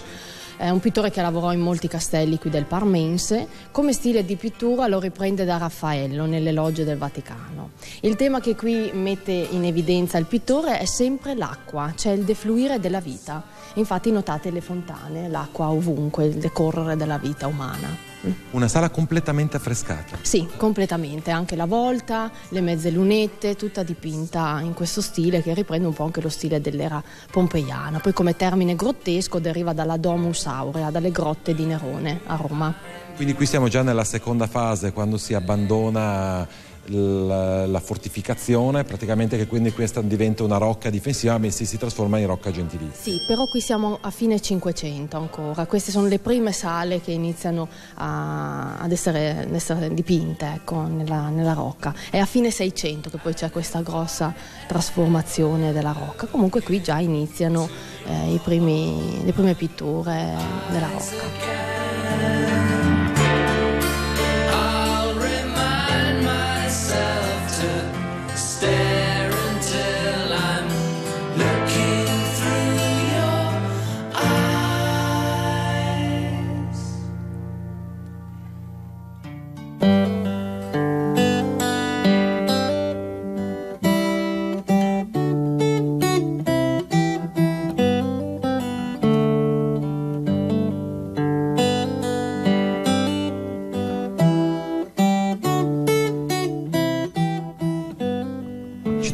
Nella seconda sala, la sala comunemente chiamata come la sala gialla. Sì, la sala gialla con raffigurate, come potete vedere, le fatiche di Ercole, di un pittore modenese, Niccolò dell'Abate, della prima metà del 1500. Sono particolari perché non sono quadri come si vedono, ma degli affreschi staccati nei primi anni del 1900 dall'appartamento, oggi abitato dall'attuale principe, e collocati qui su tela. Sì, la cosa interessante è che questa rocca, oltre essere aperta a delle visite guidate, è una rocca che ancora oggi è abitata dal proprietario, quindi dal principe. Sì, è molto particolare questa rocca perché conserva ancora arredi originali ed è ancora tutta affrescata. Si, sembra proprio di entrare in una casa, in una casa proprio abitata, anche perché è abitata in tutti gli effetti. Penso che sia proprio un valore aggiunto per i visitatori che entrano proprio nella residenza del principe, appunto. Sì, è molto bella, infatti chi viene rimane sempre molto contento di questa rocca, sì, perché insomma merita, è proprio un gioiello che abbiamo noi qui in Soragna.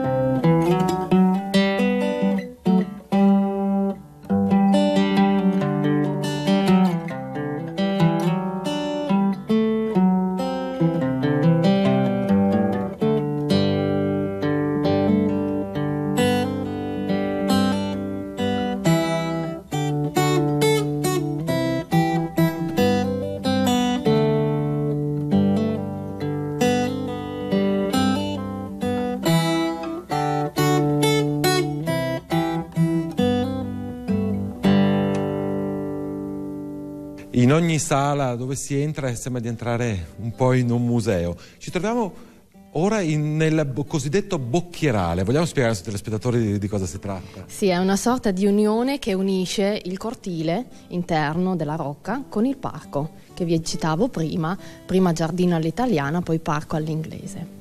Qui molto interessante, a parte naturalmente tutti i dipinti e naturalmente gli affreschi nella volta è questo arazzo che è alle nostre spalle. Sì, questo è molto particolare perché oltre che con sete colorate è stato lavorato con tutte perline in madreperla, tutte infilate. È dei primissimi anni del 1700, proveniente per eredità da un castello della Borgogna, ma fatto a Firenze. Quindi un, un gioiello italiano che è andato in Francia e poi è ritornato nella sua madrepatria. Manifattura poi italiana, anche sì. Sì, molto bello, raffigura animali esotici. Nelle volte invece cosa è rappresentato? La vittoria alata su nuvole, eh, sono dipinti sempre eh, di Cesare Baglione, ristrutturati ovviamente, eh. alle pareti anche dei ritratti di Casa Rivarola di Genova, antenati della bisnonna dell'attuale principe, e un arredo dei primi anni del 1800.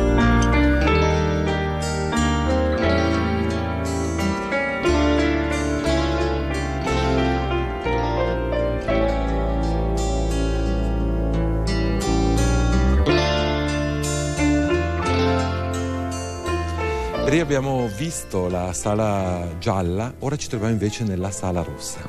Sì, la sala rossa, particolare di questo salottino, è appunto il divanetto con le poltrone che vedete qui, che è stato ricamato da una principessa, la principessa Anna dei Duchi di Mondragone, nei primi anni del 1800, quando sposò il principe Casimiro Melilupi. È particolare proprio perché lo ideò e lo ricamò lei stessa.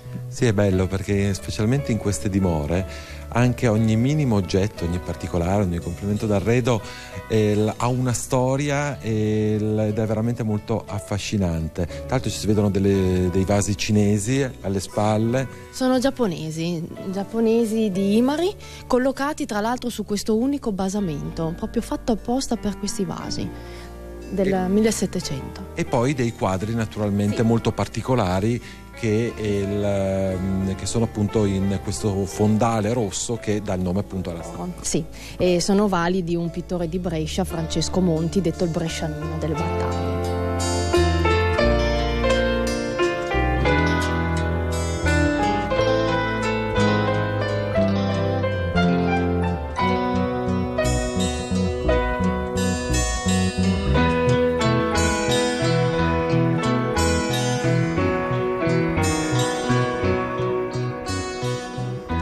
Ora ci troviamo nella sala del biliardo, una stanza che però suscita sempre molto interesse da parte dei visitatori perché racconta di una storia molto affascinante specialmente per un castello. Sì, è vero. Questa innanzitutto è la sala del biliardo antico con tutti i ritratti della casata e ce n'è uno in particolare che è il ritratto di questa signora, Cassandra Marinoni, detta la donna cenerina, il famoso fantasma della rocca. È un fantasma, è una nobildonna, diciamo, che venne uccisa purtroppo ingiustamente insieme alla sorella Lucrezia a Cremona per volere del cognato, il conte Giulio Anguissola di Piacenza. È un conte che era spesso indebitato, voleva impadronirsi del patrimonio della moglie e quindi un bel giorno manda dei sicari per farla fuori. Giunti a Cremona se le trovarono davanti tutte e due, non sapendo poi quale fosse la moglie, le uccisero entrambe, una con 13 pugnalate, l'altra con 32. Purtroppo ehm, Cassandra però venne trasportata qui in Rocca perché lei sposò anni prima un Melilupi ne muore il giorno dopo della sorella. Però nel frattempo riuscì a denunciare gli assassini, cioè il cognato, perché aveva capito che era stato lui, e muore. Purtroppo mai nessuno riuscì a vendicare la morte di Cassandra e il, il cognato quindi fuggì e ci pensa lei stessa. Si farebbe sentire nella rocca ogni volta che sta per morire un membro della famiglia.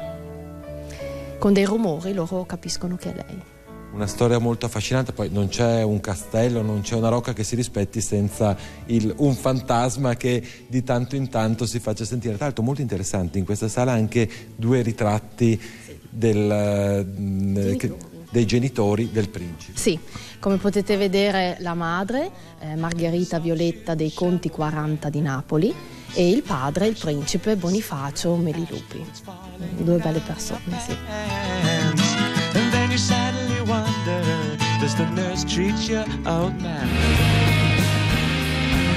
Io in provincia di Parma ho trovato uno dei castelli più belli che abbia mai visto, almeno secondo il mio modestissimo parere. Sto parlando del Castello di Bardi.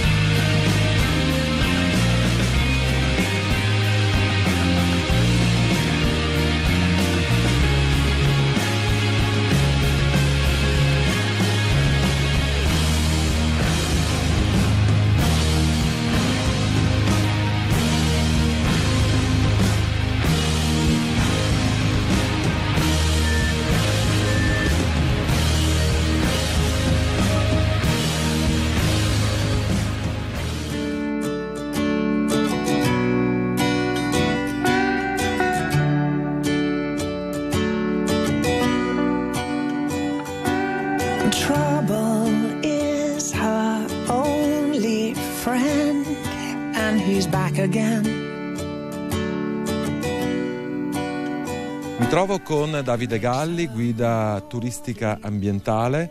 Vogliamo presentare innanzitutto ai nostri telespettatori bene dove ci troviamo? Allora, ci troviamo a Bardi, in provincia di Parma, in una posizione molto strategica perché qui si incrociavano nel passato tutte le vie di comunicazione verso uh, l'Appennino, quindi verso Roma, verso il mare. Qui passavano la via degli Abati, passava la via che saliva da Velleia e andava verso i Passi, eh, passavano tutte le varianti della via francigena, dette anche Romee di montagna, eh, che per assurdo erano più sicure rispetto a quelle di pianura perché meno soggette ad assalti assalti e depredazioni e anche da un punto di vista climatico anche più percorribili in alcune stagioni. Siamo in Valceno, un posto dal punto di vista ambientale veramente meraviglioso e quando si arriva vicino a Bardi c'è un, uh, un castello che svetta che veramente lascia a bocca aperta. Il castello è posto su una roccia di diaspro rosso, che è un granito rarissimo di origine vulcanica dal fondo del mare 170 milioni di anni fa e mm, che assume un colore incredibile perché alla sera con il tramonto i cristalli fanno diventare praticamente rosso fuoco questa roccia. È uno sperone su cui viene costruito un castello che si vede da decine di chilometri da qualsiasi direzione si provenga perché è esposto su almeno eh, cinque vallate diverse del fiume Ceno e di tutti i suoi affluenti per controllare chilometri e chilometri e difendersi da eventuali invasioni perché viene costruito in un'epoca particolare quando iniziano le invasioni ungariche del IX secolo. E sarà proprio il Castello di Bardi oggi, come abbiamo detto prima, della sigla protagonista di questa puntata. Vogliamo fare un po' un'introduzione, parlare un po' della storia, quando è nato e un po' le tappe principali? Allora, il primo documento che ce ne parla è del vescovo di Piacenza che acquista alla fine dell'800 d.C., quindi ben prima dell'anno 1000, un recente eh, una recente fortezza rocca costruita sulla roccia di Diaspro Rosso. Quindi per recente noi capiamo che stiamo parlando di qualche anno prima. Quindi sappiamo che è prima della fine dell'Ottocento. Sappiamo che c'era un villaggio longobardo nella zona eh, qui vicino che a un certo punto però cerca di incastellarsi, la popolazione si incastella proprio per la paura delle invasioni, perché i longobardi non sono più barbari, a quel punto sono una civiltà che si è insediata da 250 anni e vedono gli altri come invasori barbarici. Eh, c'è un documento interessantissimo, sempre legato a questa vendita, dove i barbari addirittura definiscono i franchi che arrivano a un certo punto dopo la conquista di, di Pavia e i longobardi dicono dei franchi in quest'epoca di invasioni barbariche, eccetera, eccetera. Questo perché insomma sempre è tutto relativo.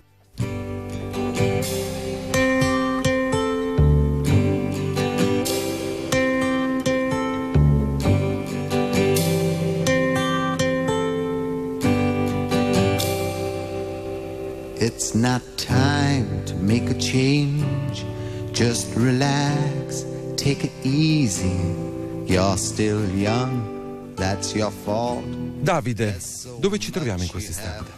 Sembra incredibile, ma noi siamo nell'ingresso medievale del castello, cioè era obbligatorio passare attraverso questi cunicoli, non si entrava con le carrozze che erano cadute in, divuso, in disuso, piuttosto cavalli a mano. E si era obbligati, adesso vediamo, a passare attraverso una serie di labirinti controllati da feritoie, ce ne sono una serie, quindi era molto difficile accedere al castello senza essere colpiti, perché immaginiamo che dietro a ognuna di queste feritoie attraverso cui stiamo passando c'era una guardia armata. E quindi si passava in fila a uno a uno e si veniva controllati, quindi in caso anche di sfondamento c'erano almeno una decina di ulteriori posti di difesa subito. Sembra proprio un labirinto infatti. Sembra un labirinto, ha, questo castello ha una serie di fortificazioni, una dietro l'altra, proprio perché il suo scopo era quello della difesa e tutte le modifiche successive sono servite ai Landi, che era una famiglia piacentina che lo ha tenuto per quasi 400 anni questo castello, proprio per chiudersi qui dentro e possiamo definire i landi quasi paranoici nella loro difesa, nel senso che loro avevano sulla testa una pena di morte su tutti i discendenti maschi che i, i Farnese di Piacenza e Parma avevano emesso nei loro confronti. Diciamo che penso che questo castello non è mai stato espugnato. È stato espugnato una sola volta per tradimento delle guardie, da un punto di vista militare praticamente impossibile.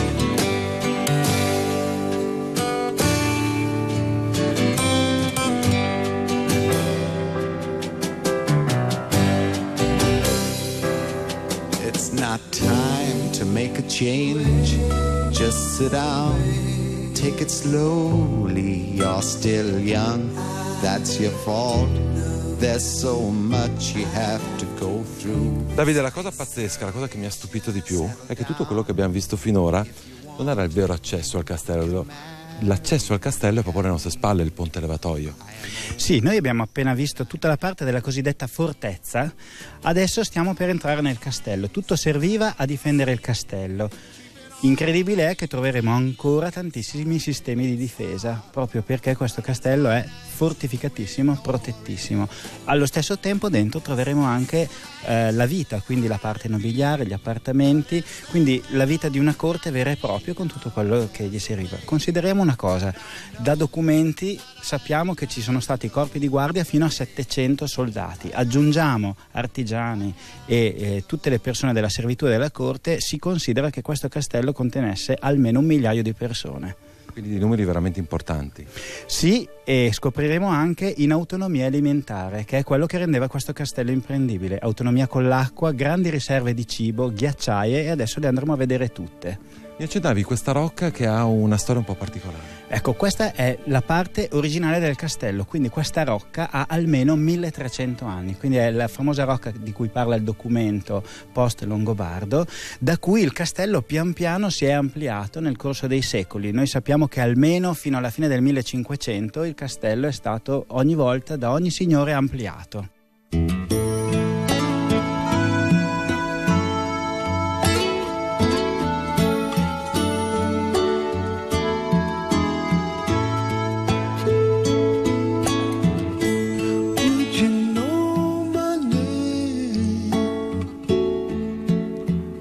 Finalmente possiamo dire che siamo all'interno del castello. Sì, siamo nell'atrio d'ingresso, chiamiamolo il parcheggio delle carrozze, perché ricordiamoci che questa era una corte, la corte di un principato imperiale, in un piccolo paesino di montagna, adesso noi infatti vediamo un castello gigantesco che non riusciamo a spiegarci per proporzione, ma dobbiamo ricordarci che questa era la capitale di un principato che Carlo V aveva riconosciuto ai Landi, famiglia piacentina, eterna nemica dei Farnese, che ne erano i signori invece a Parma e Piacenza, ed era una famiglia invece invece protetta dal papato. Quindi in antagonismo Carlo V ha bisogno di una famiglia in un territorio strategico che li colleghi con la Toscana e quindi noi abbiamo le due aquile imperiali alla nostra spalla, un simbolo molto importante. In questo castello si batteva moneta, in questo paese c'era una scuola notarile, cioè c'erano dei notabili, si redigevano documenti di uno Stato vero e proprio.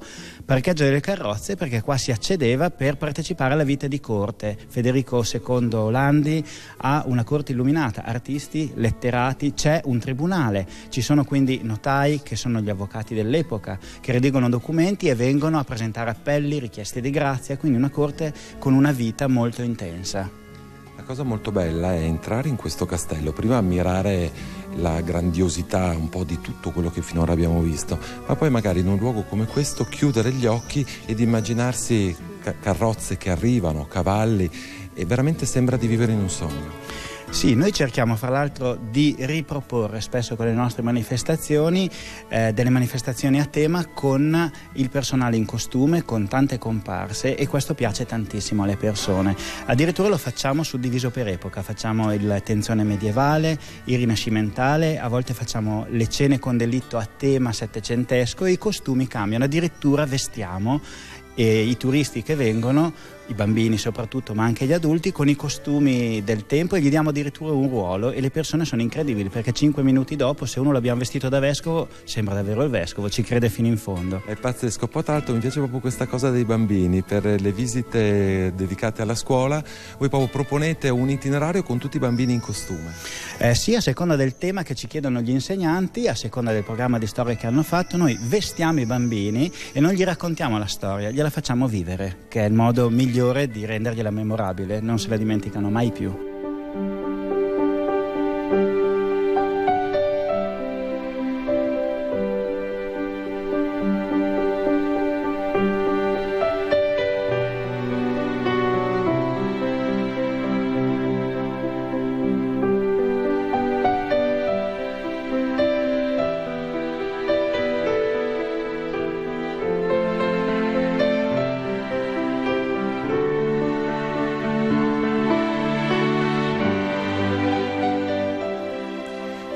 Parte dei gioielli sotto casa, ben trovati. Voglio ricordarvi che oggi siamo alla scoperta del castello di Bardi. Qui a mio fianco Davide Galli, la nostra guida di fiducia per quanto riguarda questa zona.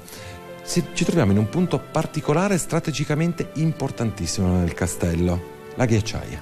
Importantissimo perché questo è un castello da un punto di vista alimentare completamente indipendente, infatti noi lo chiamiamo primo punto alimentare. Alle nostre spalle c'è una ghiacciaia, significa che tutta la neve che si accumulava sui piazzali sopra noi, la piazza d'armi enorme dove si radunava proprio il corpo di guardia del castello, ricordiamo centinaia di persone, quindi una piazza vera e propria, tutta la neve man mano veniva buttata dal camino alle nostre spalle in questo contenitore. Di fatto noi qui siamo nel freezer, nelle stanze distanze vicino a noi ci sono i frigor, nel senso che a seconda della distanza c'erano temperature diverse, e più lontano da noi la dispensa, però tutto in luogo fresco. Quindi significa che si poteva conservare carne, si poteva conservare alimenti deperibili, anche perché il sale era abbastanza difficile da reperire e appunto era caro. Nei nostri dialetti infatti si dice caro come il sale, perché era anche proprio moneta di scambio, anche se qua siamo vicini alla Liguria.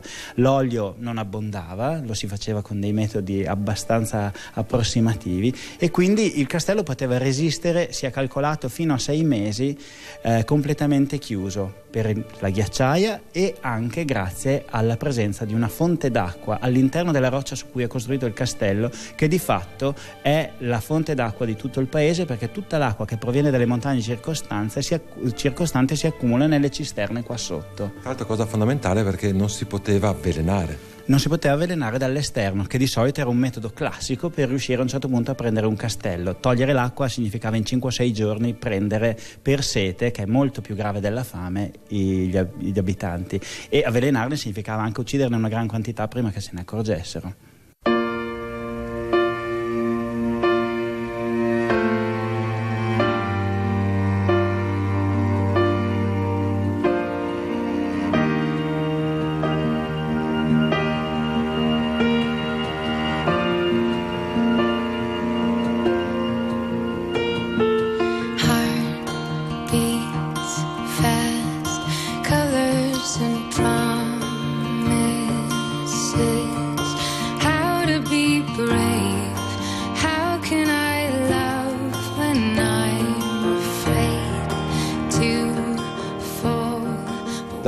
Troviamo nella piazza d'armi in questo momento. Sì, siamo in una delle ultime parti militari del castello, la grande piazza d'armi, cioè la piazza delle grandi operazioni militari, movimento di cannoni, movimento di truppe, presenza alla mattina. Abbiamo documenti che comunque questo venisse fatto tutti i giorni con assoluto rigore e quindi siamo vicini anche ai quartieri dei soldati, sia ai soldati semplici che agli appartamenti degli ufficiali che vedremo sono più ricercati oltre ai militari qui vicino tutti gli artigiani che servivano alla vita del castello, maniscalchi, fabbri, stallieri, eh, tutto quello che era necessario per fare sopravvivere questa enorme struttura. E stiamo quindi per andare a visitare questi appartamenti che adesso contengono anche il Museo della Civiltà Valligiana, nel senso che le stanze sono state riutilizzate in questo modo. Dono della gente del posto con l'aiuto del centro studi locale eh, che hanno donato tutti quelli che erano i suppellettili, l'attrezzatura dei loro genitori, dei loro nonni, così possiamo tramandare e ricostruire quello che è stato fino almeno alla prima età del Novecento una vita eh, rurale contadina che vogliamo che rimanga proprio come tracciato storico. Io vorrei ritornare al sottolineare che in questo castello in certi momenti hanno vissuto più di mille persone. Eh sì, quindi noi dobbiamo immaginare una vita veramente eh, molto intensa, anche perché questo castello, che è detto anche fortezza, era in grado di accogliere la popolazione del villaggio sottostante. Chi all'inizio del Medioevo è riuscito a garantire la sicurezza, ed è un tema che è tornato molto di moda, chiaramente è diventato automaticamente il signore, il dominus, cioè colui a cui le popolazioni facevano riferimento. Quindi persone ricche che erano state in grado di costruire una rocca o una fortificazione, dando protezione avevano dato il bene più prezioso in assoluto, quindi quello di poter preservare la vita degli abitanti che si sottomettevano all'inizio con le buone, spesso vedremo nei passaggi successivi, a volte anche con le cattive.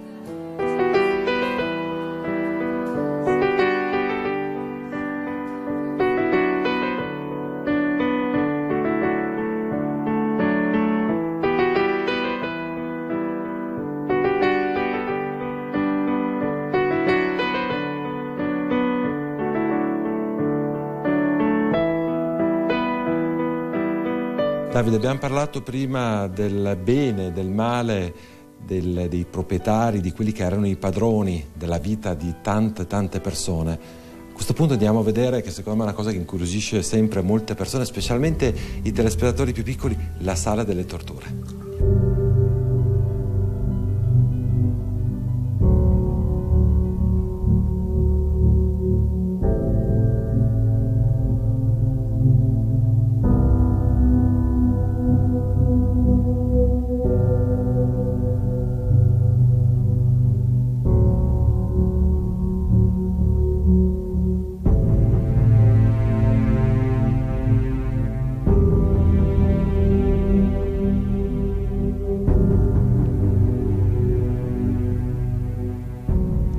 Siamo all'interno della sala delle torture di fronte alle prigioni, quindi sotto di noi ci sono le strettissime buie celle. Questo castello funzionava anche come carcere, come tribunale, perché qui c'era il principe che con un unico grado di giudizio eh, assolveva o puniva eh, i suoi popolani.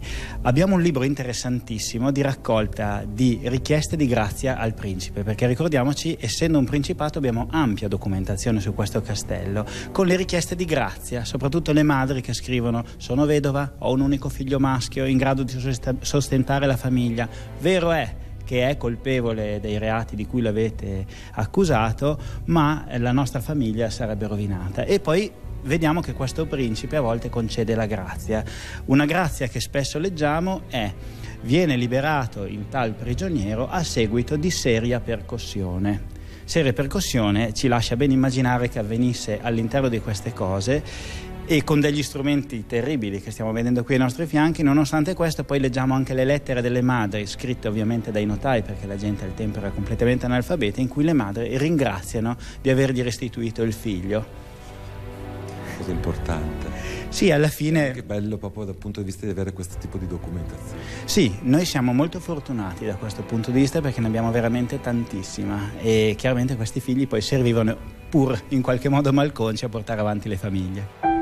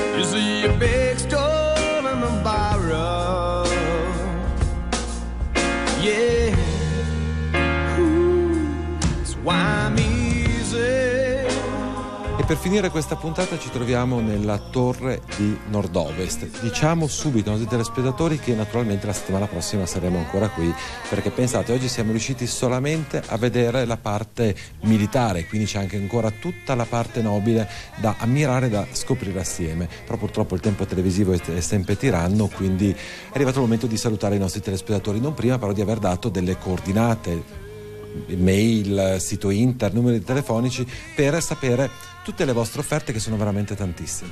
Allora, il sito internet del castello è molto semplice, è www.castellodibardi.it con relativi contatti e mail, ci trovate anche su Facebook, su Twitter e sui vari canali social. Numero di telefono 0525 73 30 66 per avere sempre informazioni sulle visite, sulle manifestazioni e per qualsiasi esigenza, richiesta particolare. Organizziamo anche degli eventi per gruppi di persone che ci richiedono iniziative particolari. You